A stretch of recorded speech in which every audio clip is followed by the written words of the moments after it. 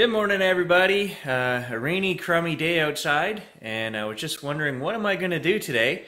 Turned on the computer, and I see that the firmware version 2 is now available for the A7R3. And I thought, eh, probably not going to be much in there.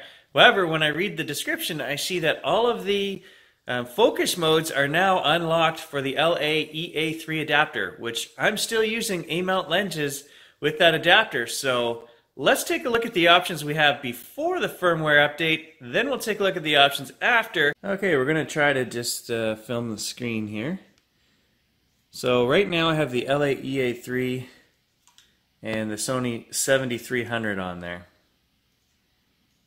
Okay, and if we go to our focus modes, we have AFS, which is pretty much anywhere there I don't know if you can see but there is a little gray right there in the top corner. There's little gray boxes. So anywhere within those frames it's going to automatically find something to focus on. Usually the closest thing in the frame we can also touch anywhere in there on the screen and it will focus. Okay so that's our AFS this is continuous autofocus. So if we hold the button down, we can see it's continuing to focus.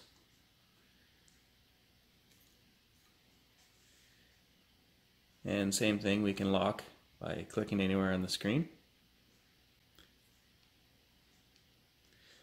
We don't have DMF and we don't have access to manual focus because those are on this lens body. But we also don't have AFA.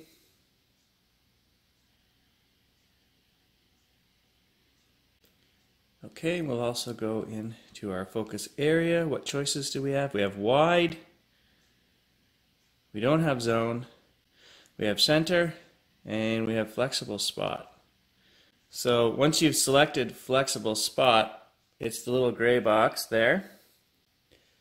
And you have to use your joystick to move it around, or you can touch the screen. And that gives you pretty much the same thing that we were doing by just touching the screen, which is pretty much much faster anyway. Why? Why anyone would still be using this, I don't know. But it is an option. Um, we have our center, which is, again, you probably can't see the box. There's the little gray box.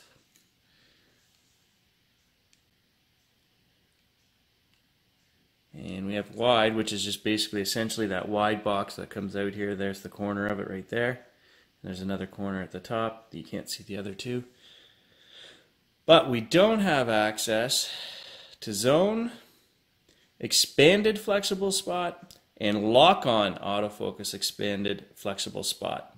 I'm just trying to update the firmware, which is a fairly simple process. You download the uh, installer onto the computer and when you open it, it gives you a step-by-step instruction. The only problem, and I've had this twice and I forgot about it, is that you cannot connect the camera with the USB-C, uh, the fast cable. You have to connect it with the standard, I can't unplug it now, but just a standard um, USB, the slim, the small ones, not the fat like the old A99 used to take, but the slim version of that and then it will recognize the camera. If you plug it in with this cable, which came with the camera, um, mine does not recognize it says cannot find the camera. As soon as I plug in a regular slim um, cable, it works.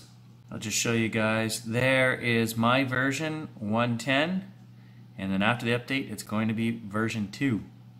Once you've installed your firmware update, guys, you want to verify it. So if you scroll across your menus at the top to the toolbox, and you go over to the last page, you'll see where it says version. And if you click on that, there we are, version 2, which is what we just downloaded and installed. Okay, now if we go into our shooting options, we still don't have AFA, DMF, so none of that has changed. Which they didn't say it would, we're just checking, right? Never hurts. People will ask me, did you look at that? Yes, we did. Let's go into our focus areas. And now we have wide zone. Let's try zone, which we didn't have before. Whoops.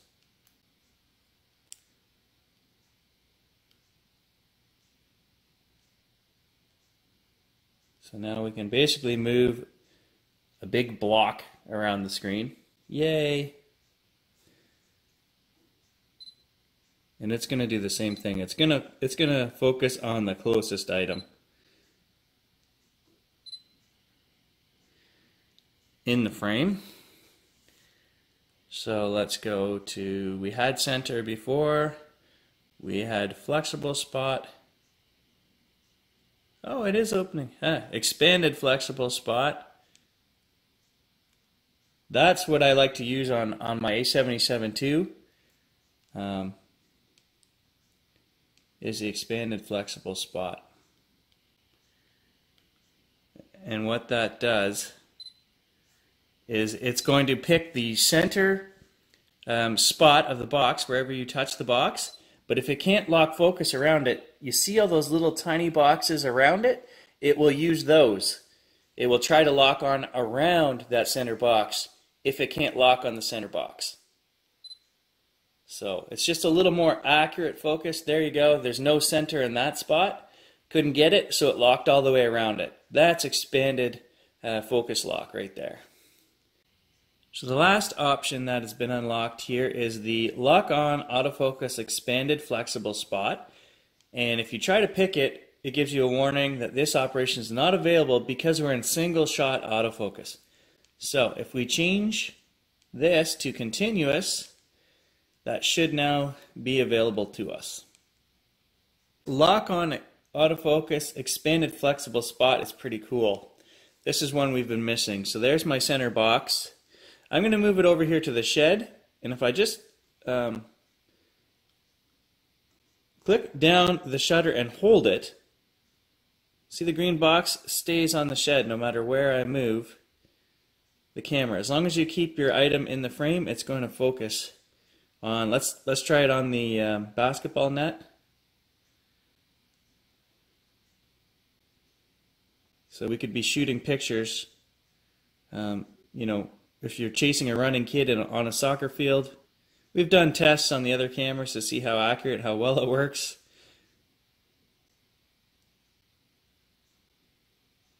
Which we will now be able to do with the A7R3 and the LAEA3 and my 70-300 and other A-mount lenses. So there you have it, guys. We really have to give a thumbs up to Sony on this one because we're using old uh, A-mount stuff that's what the LAEA3 adapter is for. They don't have to support us. There's no reason to, other than, you know, they would lose a few grumpy customers. And I'm one of them. Uh, don't get me wrong, I'm one of them. I have 30 A-mount lenses, and that's all I use on my A7R3. I own one E-mount lens. So for me, this is a dream come true, and I want to say fantastic job, Sony. I, um, you know, for them to support the legacy stuff in this instance, they've moved on to E-mount. That's that's the bottom line. We have to accept that.